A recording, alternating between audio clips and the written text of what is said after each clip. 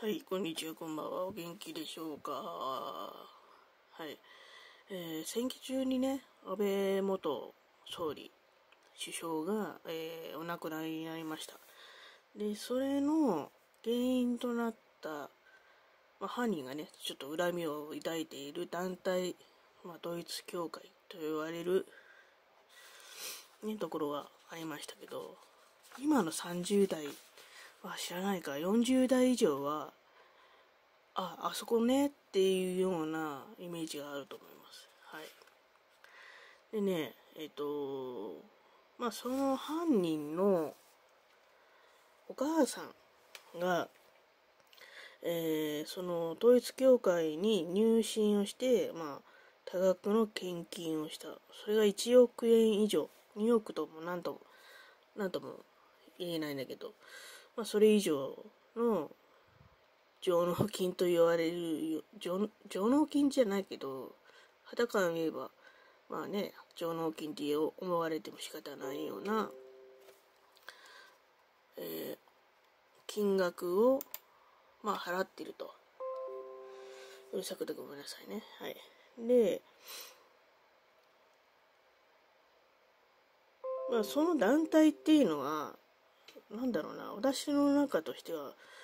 まあその統一教会のイメージっていうのはなくてえっと別の団体あのねあの自民党と一緒になっている政党の母体みたいなところあそこかなとふと思ったんだけどそれにしてもそうそういうことはしないよなと思ってうん。でいろいろとねまあ他の方が見ると統一教会じゃないかっていう意見が拡散して、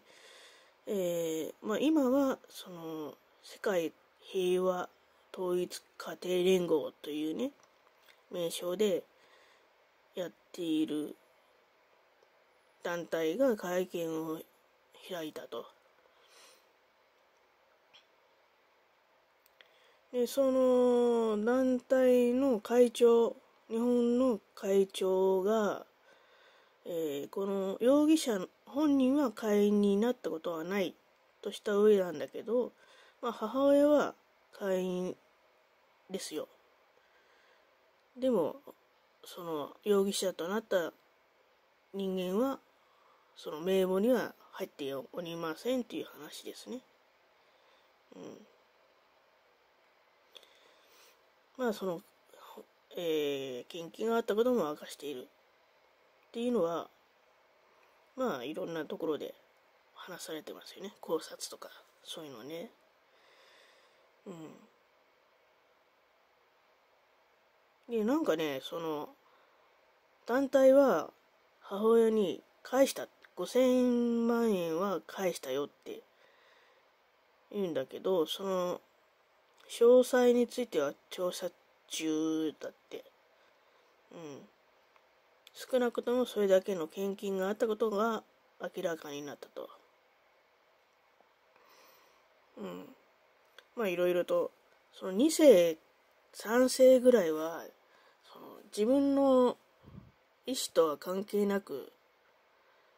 入らされてることが多いみたいだよね。本当に2世ぐらいまでは、まあ、親がやってるから疑いもなくこうやってる部分もあるんだけどやっぱ3世ぐらいになるとあのそんなに信心深いかというとそうではないというネット情報ですけど いろいろと見てみるとそんなに信心深いかっていうとそうではない。まあ第三者的な目線で視線でその団体を見ているっていう部分があってだけど脱退したら脱退したで親が悲しむ。じいちゃんばあちゃんが悲しむっていうのもそうだし脱退しにくいっていうようなことをまあよくネット情報でもまあよく言われてるよね。その団体のその支部みたいなところから嫌がらせをされてしまうとか、あの、あらぬことを言われてしまうとか、よくね、一面みたいな感じでさ、あの、ゴミを散らかされて、それが、あの人のせいよ、みたいな感じで言われたりだとか、っていう、まあ話はよく聞こえてきてますね。うん。そうそう、それで、えー、そんなね、その団体は、その、私がね、何年前なんだろうね。一世風靡したのよ。その、合同結婚式っていうのがあって、で、その、教会の、教会のっていうか団体の本当にトップの夫婦が、あなたはこの人と結婚してなさいみたいな感じで、国籍とか、どういうお仕事をしてるのかっていうのが関係なく、その、なんだろうな、網田口で、あの、決めたような感じで、ランダムでこう、A さんは B さんと結婚しなさい。うん。C さんは E さんと結婚しなさいみたいな感じで通達されて、分かりましたと。神様がそう言うなら、神様と同じね、扱いのその教祖様が言うんだったら、私たちは結婚して幸せになります。みたいな感じで結婚する。でもまあ、ちょっと不仲になってしまう部分はあって、そうなると上からはあなたの新人が足りないからよとか、あなたが、まあね、まあ、あの、その旦那さんになる人を許してあげないからいけないのよ、みたいな感じで言われてしまうっていうのはよく言われてて、うん。って言いましたね。それでまあ疑問に思って、えー、教会以外の人に意見を求めてみたら、それはおかしいよっていうのをね、至るところで聞いて、あ、じゃあ、この団体自体がおかしいんだと思って脱退したっていう人もいるみたいだけど、その中で、桜桜田淳子さんが、このね、団体の結婚式に参加したっていうことで、あ、参加するか。記者会見を発表したんだよね。で、結構、話題になって、いろんなところでもうテレビでやってたんだよね。どうしてこの宗教にハマったんですかみたいな。うん。そうそう、洗脳じゃないかとかね、いろいろと大騒ぎになったんだけど、えー、その人は、会社役員の男性と結ばれて、えー、結婚して、お子さんが2人3人ぐらいできたのかな？うん。で、あの、その男性の名前も、まあ珍しい名前だったので、あの、名前はね、言わないですけど、あの、相性がね、あったんですよ。本当に。相性があって、まあ結構ね、その、なんだろう、あるじゃないですか。流行語大賞みたいなやつ。うん。ああいうので、なんかいろいろと言われてたような気がするんだよね。そうそうそう。それで、えっ、ー、とね、その人に直撃をしたんだって。あ、20年前になるか。で、一応ね、えー、まあ、こういうものですっていうの名刺を出して、で、すいません、ちょっと意見を、コメントをお願いしますっつったら、まあ、答えられないんですよと。申し訳ない。私はマスコミの対応はしてないんですよって。うん。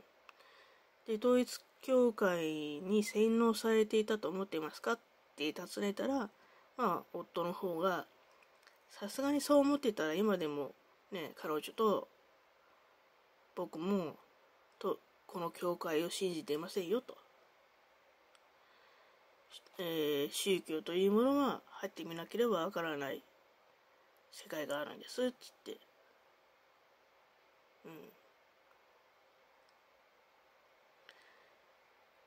うん。で自分たちまあ2人は自分たちの意思で入信してそして結婚にしたと、えー、教団に洗脳されたわけではないと主張してて、まあ、最後に今も幸せですかって聞いたらもちろんですよと。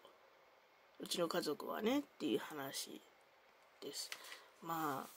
幸せではない方もいらっしゃる。うん。どうしてこういうね不幸な目になってしまうのかっていうふうに思うところもあるみたいですね。はい。どうなんだろうね。あのーなんかね、その、もともと容疑者のお母さんは、何だったんだろう。その兄弟の長男かなんかがちょっと、体が弱いみたいで、ちょっと病気がちで、で、それのことでちょっと考えが塞ぎがちというか、ね、そういうのがあって、ちょっと塞ぎがちだったところにそういうところにあのつけ込まれて、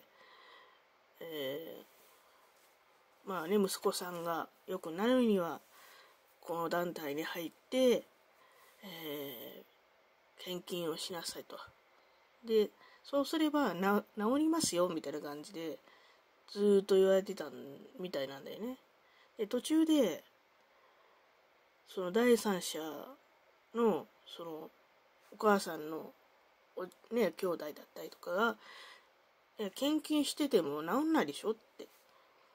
それはどういう説明するつもりだって言ってもたらまあそこで気づく人もいるだろう気づいて